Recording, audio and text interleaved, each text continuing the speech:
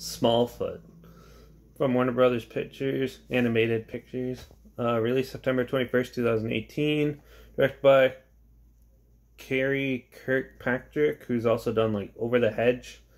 Uh, imagine that, Chicken Run, a few others. This had a budget of $80 million and it made $214 million at the box office.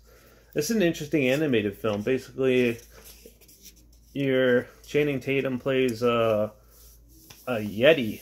There's this big colony of Yetis that live on this mountain, and uh, they don't think humans exist, and they follow like these stones, sort of like their ancient scrolls or whatever, um, type folklore. And uh, humans are a myth to them, and basically he sees one and uh, gets to know one, and then he, they don't believe him, so he, they banish him down, and he ends up bringing them back and uh, trying to convince them that humans exist, and uh, in turn, the humans also trying to convince the humans that Yetis exist and that there's a huge colony of them. It's a pretty neat concept how they basically just flipped everything from like everyone would be like majority of people are like Bigfoot doesn't exist. There's a handful of believers and stuff, and it's basically this but told from a Yeti's perspective, which is actually pretty cool. Um, there is a lot of good funny scenes in it. It's great for the whole family. Uh, very amusing, and the story is very moving. And uh, yeah, I thought it was actually pretty well done. The only big gripe about this is it's your typical family animated film. Uh, so there's nothing really new to the table. It's more like the same structure as a standard family film. Like they have a conflict with your main characters and uh, they basically just try to resolve it. and uh, yeah, it's a little generic.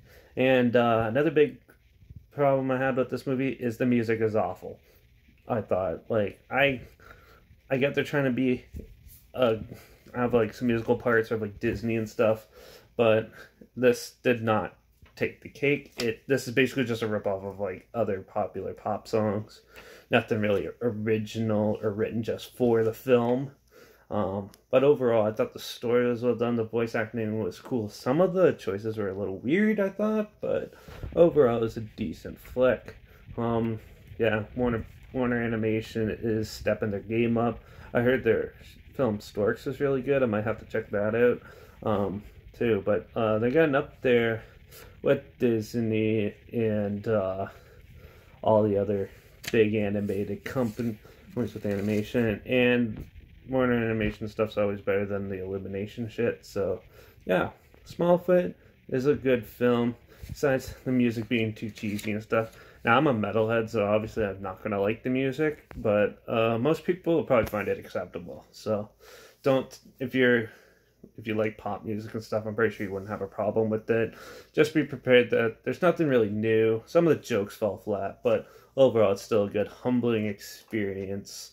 There's some good, funny jokes in there too, and overall, it's just a decent, good, entertaining time to pass an hour and a half. So definitely throw this one on. It's on Netflix right now, so definitely give it a go. It is actually pretty fun. If I was going to rate this, I'm going to give this one a four out of five.